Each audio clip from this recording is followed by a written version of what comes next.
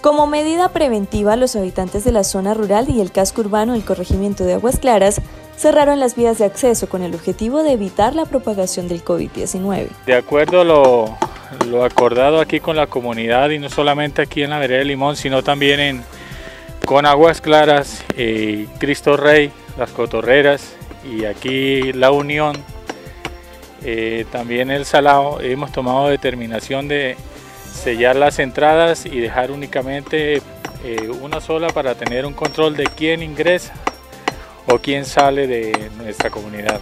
Ante la presencia de ciudadanos que no son provenientes de la zona, tomaron esta determinación. Ya que la gente, pues, en primer término no, no hizo caso a, a todas las recomendaciones que estaba mandando el gobierno para cumplirlas. Y en segundo lugar, pues, nos estábamos viendo también, estaba llegando mucha gente de, de otros sectores que en estos momentos pues nada tienen que venir a hacer al pueblo, ¿sí?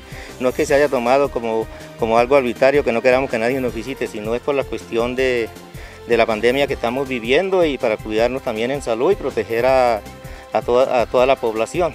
Para el ingreso de la ciudadanía se tiene presente el pico y cédula, entre otras restricciones. O sea, todo lo que sea del, del manejo agrícola pues se está permitiendo, pero cumpliendo también con unos requisitos en cuanto al, el, por la cuestión del virus que se está presentando en el mundo.